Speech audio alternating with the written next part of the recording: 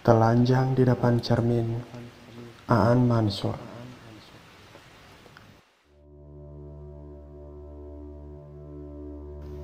Aku berdiri di depan cermin, telanjang dan mencari yang intim dari seluruh yang tiba-tiba asing dan liar.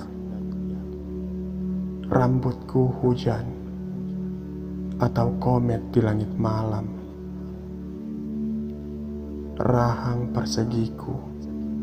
Mahir menakut-nakuti tangan, tangan pencari yang lemah lembut. Mereka akan melihat benteng kokoh, bukan benteng pemalu.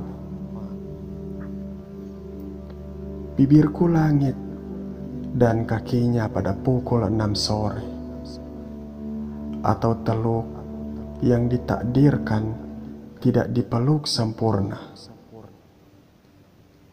Lekuk tubuh bibirku mencibir dua danau di atasnya tetangga yang tidak pernah saling mengunjungi, sepasang kesepian.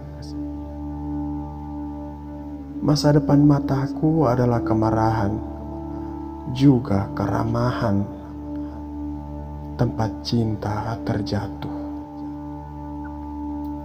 Suatu hari kelak, kau akan mengatakan hal indah tentang mataku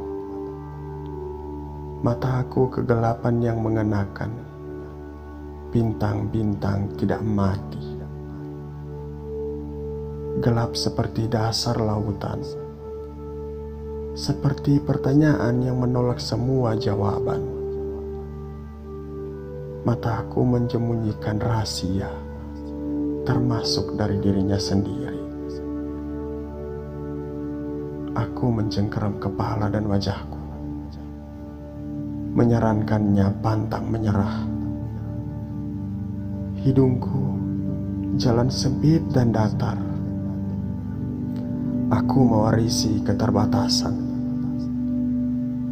Modal baik bagi petualang. Aku menelusuri garis leher hingga pinggang. Tebing gunung, para pendaki belum pernah ke sana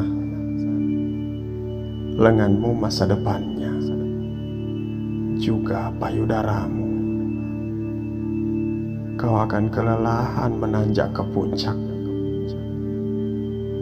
Di bahuku akan dibangun perusahaan dan rumah tempat seorang perempuan pelancong akan mampir. Juga tempat kita berbulan madu selamanya. Meski sudah kuat, tubuhku masih ingat aroma rahim ibu. Segera akan datang, kau menawarkan rahim berparfum merek lain, jahat dan murah senyum. Tungkai kakiku sepasang pohon berdiri di kiri dan kanan jalan bersemak. Rerimbunan yang akan mengembalikanmu ke rahim ibu. Aku remaja 13 tahun. Berdiri telanjang di depan cermin. Tubuhku negeri asing.